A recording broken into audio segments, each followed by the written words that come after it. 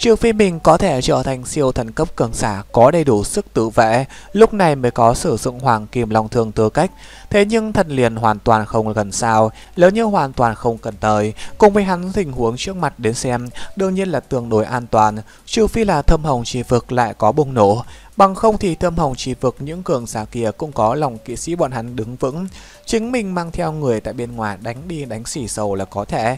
Có thể trận chiến tranh này không chỉ là một lần tai họa, đồng thời cũng là một cơ hội. Một lần đối với bọn hắn tới nói cơ hội. Mục tiêu của hắn là muốn trong tương lai tái hiện lòng thần rực rỡ, thành lập thần giới bỏ lỡ trước mặt cơ hội. Mong muốn hoàn thành giấc mộng này liền sẽ trở lên trên vô cùng gian nan, ít nhất cần đại lượng thời gian trước từng bước một trở thành lòng tộc thủ lĩnh, thậm chí là cầu thằng thiên long thủ tọa mới có thể không chút kiêng kỳ đi hấp thu thằng lòng trụ bên trong lòng thần lòng thủy năng lượng, lại từng bước một đột phá dần dần hướng phía cái phương hướng kia đi xả bước tiến lên. Mà trận chiến tranh này mang cho cơ hội của hắn lại là một cái tốc thành cơ hội, nếu như vận dụng thỏa đáng như phải hết thảy đều có khả năng. Lam Yên Vũ cho tới bây giờ đều không phải là một cái theo khuôn phép cũ người, bằng không mà nói hắn cũng khi là không cho tới hôm nay một bước này. Đầy đủ tinh thần mạo hiểm là theo hắn đi theo vị trí thứ nhất lão sư nơi đó cũng đã bắt đầu học được. Năm đó Ngân Thiên Phàm đang dạy hắn thời điểm liên là bình đi nước cờ hiểm xuất kỳ chế thắng, kiếm tàu thiên phong đoạn đường này đếm được. Cái này mới có sau này là miền Vũ tập kinh lòng mã hệ thống nội bộ, mang đi không chi chúng, nổ ngựa không tổng trọng yếu nhất từ nguyên tinh, cùng với hiện tại thân chính là cấp bậc cao nhất gián điệp, cấp chiến đấu thiên xả đủ loại hành động vĩ đại, tay hắn trong xương cốt vẫn luôn luôn ẩn chứa mạo hiểm tinh thần, nguy hiểm cũng tiến lời nói thành tỷ lệ thuận Đây là làm hiền vũ vẫn luôn luôn khắc sâu cảm nhận được, nguy hiểm lớn mang ý nghĩa tiền lời cũng lớn. Hắn cho tới bây giờ đều chưa từng sinh ra vấn đề lớn, cũng là bởi vì hắn đang mạo hiểm trước đó, sẽ tận lực đem hết thảy đều tính toán tính toán rõ ràng, từ đó để cho chính mình có thể đang nhìn giống như mạo hiểm quá trình bên trong, tổng có thể bắt lấy cái kia một con đường sống. La Miên Vũ một bên kéo dài chiến đấu, một bên ở trong lòng suy nghĩ nếu như chính mình mạo hiểm, dùng phương thức gì thích hợp đây, mà lại đang mạo hiểm quá trình bên trong như thế nào mới có thể đủ tận khả năng không bị phát hiện vấn đề, thu hoành tiền lời đồng thời, đem nguy hiểm giảm xuống đây. Trọng yếu nhất đương nhiên là muốn có thể giữ được mạng nhỏ mình mới được. Mong muốn làm đến cái này một chút, Chính mình muốn làm sự tính liền có rất nhiều rất nhiều. Trước muốn tính toán một chút Chính là mình thủ đoạn bảo mệnh, Sau đó mới là kế hoạch như thế nào thì hành. Hoàng Kim Long Thương hiện tại liền chính là trong tay quán lớn nhất át chủ bài, đồng thời hắn còn nắm giữ lấy Thiên Thánh Liệt Uyên Kích. Cái này Thiên Thánh Liệt Uyên Kích từ đầu tới liên là lúc trước nhân loại đang đối kháng với Thâm Uyên vị diện cuối cùng, đánh giết Thâm Uyên vị diện Thâm Uyên Thánh Quân lấy được một kiện siêu thần khí, chính là Thâm Uyên Thánh Quân vũ khí. Dùng cái này mà chấp trưởng toàn bộ Thâm Uyên vị diện, hẳn tác dụng cũng đồng dạng là thôn phệ. Lam Miền Vũ hiện tại không có đem Thiên Thánh Liệt Uyên Kích lấy ra nếm thử, chủ yếu là sợ động tĩnh quá lớn. Khi hắn đầu nhập chiến trường thời điểm đó, hắn cũng cảm giác được chính mình mang theo Thiên Thánh Liệt Uyên Kích biến thành dưới đầu ngón tay, chỉ tại hơi hơi phát nhiệt. Cái này siêu thần khí xưa này chưa từng có truyền được choán phấn khởi cảm xúc, nó là tại khát vọng khát vọng thôn vẽ sao không dám đưa nó trực tiếp đi thi triển đi xa, liền chỉ là lo lắng động tính quá lớn, không thể gấp tại nhất thời nhất định là phải có đầy đủ chuẩn bị về sau mới có thể đi mạo hiểm. Nghĩ rõ ràng tất cả những thứ này, là Miền Vũ hải mắt híp lái trong lòng kế hoạch đã đang lặng lẽ thành hình. Bọn hắn bên này xông tới thơm hồng chi vực sinh vật số lượng không ít, nhưng không có quá mạnh tồn tại. Người mạnh nhất cũng chỉ tương đương với nhân loại phong hào đấu la trình độ, mà bọn hắn bên này một cái làm bà nguyên soái chính là chân thần cấp cường xã. Đem cái này một chút thâm hồng chi vực sinh vật tiểu diệt tự nhiên là chuyện đương nhiên. Rất nhanh đánh tan cái này một chút thâm hồng chi vực sinh vật về sau, là miền vũ hảo lãnh tại chỗ trở lệnh, không tiếp tục hướng ra phía phương diện khác đi trợ giúp. Mà đúng lúc này máy chuyển tiền của hắn bên trong đột nhiên truyền đến đến từ trong vũ trụ hạm đội hồi báo. Hạm đội bên kia phụ trách là một tên Lam Hải tộc tướng quân vì để cho đồng bạn đều có thể từ lời này lẫn trong chiến tranh thu hoạch được kinh nghiệm chiến đấu, tôi luyện tự thân, Lam Yên Vũ nắm tất cả đồng bạn đều cho mang đến, ngoại trừ liêu tái tam thập tam thiên dực trên chiến hạm đình chắc hàm. Lam Đại Nhân có hạm đội đang ở tốc độ cao hướng về thiên hòa tình dựa vào, số lượng rất nhiều, trước mắt xem vượt qua 100 chiếc, thiên âm vội vàng vang lên. Có thể đánh giá địch nhân ta không? Lam Miền Vũ hỏi.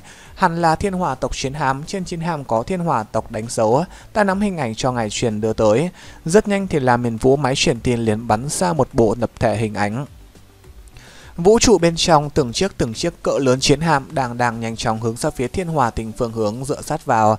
Những chiến hạm này sáng vẻ có chút đặc thù, nhìn qua là không quá quy tắc hình tam giác, không phải tam giác đều mà là có một chút hẹp dài hình tam giác bộ sáng, theo hình tam giác đỉnh điểm đến cùng một bên thẳng đứng chiều dài, ước chừng có khoảng 1.500 mét.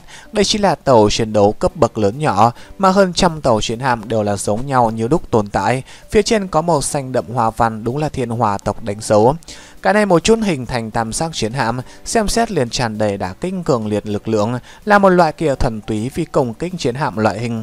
Đây chính là trên trăm chiếc tàu chiến đấu cấp độ tồn tại. Thiên hỏa tộc cuối cùng tại trong tai họa tiến đến thời điểm đó, đem lá bài tẩy của mình lấy ra. Đúng vào lúc này máy truyền tin của hắn lại tiếp đến vào trong tới một cái thông tin, chính là thượng quang lòng kỵ sĩ Trung Trí Dương. Lam thiên hỏa tộc chiến hạm tới, hắn là sẽ trực tiếp công kích thâm hồng chi phực, mang theo ngươi người thối lui đến xa một chút, không nên bị lan đến gần. Thiên hỏa tộc chiến hạm tình huống chúng ta cũng không có bất kỳ cái gì tư liệu. Vừa mới thiên hỏa thủ tướng truyền đến tin tức, để cho chúng ta trước lùi xa khỏi chiến trường, ta đã mệnh lệnh cho bát tí thần ma tộc cùng với đường lăng tộc rút lui. Vâng, hiểu rõ là Minh Vũ đáp ứng một tiếng, có Trung Trí Sương xác nhận mấy ngày này cùng với chiến hạm đại lịch tự liền là không thể nghi ngờ, khá lắm trên trăm chiếc tàu chiến đấu. Phải biết rằng đó là liên bang một nhánh vũ trụ hạm đội, tàu chiến đấu phối trí cũng chỉ là mười mấy chiếc mà thôi. Trên trăm chiếc tàu chiến đấu cái này đều có thể có với đấu là liên bang tất cả tàu chiến đấu so sánh. Dĩ nhiên thì thiên hỏa tổng chiến hạm ít nhất trước mắt nhìn qua cũng không có tầng thứ cao hơn tồn tại, không còn là tàu mẹ của mỗi lòng phường cấp tàu bảo vệ loại cấp bậc kia chiến hạm xuất hiện, không biết là không có vấn đề hay là như cũ duy trì ẩn dấu. Có điều dựa theo làm miền phụ phán đoán, ẩn dấu khả năng không lớn, cái này đều muốn vòng tộc diệt chủng, còn ẩn dấu cái gì? Thiên hòa tinh chính là thiên hòa tộc căn cơ sở tại, lúc này hiển nhiên là muốn không tiếc hết thảy. Thiên hòa thủ tướng cái tên này không có chết lúc trước thâm hồng chi vực trùng kích vào, còn đang chỉ huy chiến tranh. Sau đó liền nhìn một chút mấy ngày này của một chiến hạm có thể đi đến loại trình độ gì đi, mà lại cái này đối với chính mình tới nói có lẽ chính là chân chính cơ hội. La Miên Vũ khỏe miệng toát ra một vệt nụ cười thản nhiên, cầu phú quý trong nguy hiểm có lẽ ngay lúc này. Truyền mệnh lệnh của ta lập tức rời xa chiến trường đi theo ta. Vừa nói thì làm miền vũ phóng người lên trên, dẫn theo quân đội của mình tốc độ cao hướng ra phía nơi xa rút lui lùi xa. Thiên hỏa tộc quân đội rõ ràng cũng đã tiếp đến tương tự mệnh lệnh. Xa xa từng nhánh quân đội đều tại tốc độ cao hướng ra phía chiến trường phương hướng ngược nhau rời đi. Trên chiến trường bát tý thần ma tộc, đường lang tổng cũng đúng bắt đầu lùi lại. Không thể không nói bát tý thần ma tộc thật sự chính là chiến tranh tên điên. Bọn chúng rút lui phương thức cũng tương đối quỷ dị. Nhưng cái kia ngàn thước cảo bát tí thần ma tướng đột nhiên toát ra từng đạo hào quang màu tím, không phải đi công kích kẻ địch mà là tại trong ba phủ đối phương những cái kia cao lớn bát tí thần ma tướng, đem bọn hắn hướng hơi xa này quăng bay đi xa, đồng thời trên thân thủy diệt khí tương phóng thích ra, cơ hồ là dùng xua đuổi phương thức tới khu đồng tộc nhân của mình rút lui. Phương pháp như vậy cũng thắng làm Miền Vũ không khỏi có một chút buồn cười, nhưng bát tí thần ma tộc một khi tiến vào trong sát lục trạng thái, đúng là có loại bất tử không lùi cảm giác, mà liên là vừa vặn như thế một hồi chiến đấu, ba tí thần ma tộc toàn bộ khí tức đều rõ ràng có tăng trưởng, cái này thật sự là chiến đấu dân tộc. Một bên phi tông trốn xa, là miền vũ một bên chú ý bên trên bầu trời tình huống. Mơ hồ ở giữa hắn đã có thể cảm nhận được đến từ vũ trụ bên trong mạnh mẽ lực lượng áp bách bắt đầu xuất hiện. Đây là thần thức mang tới một loại cảm giác đối với nguy hiểm cảm giác. Vũ trụ bên trong hình ảnh cũng thăng không ngừng truyền đưa tới. Long mã liên bang bên này hạm đối mặc dù là quy mô càng lớn nhưng phần lớn đều là chiến hạm vận tải. Theo trên tấm hình này mấy ngày này cũng đã cùng chiến hạm.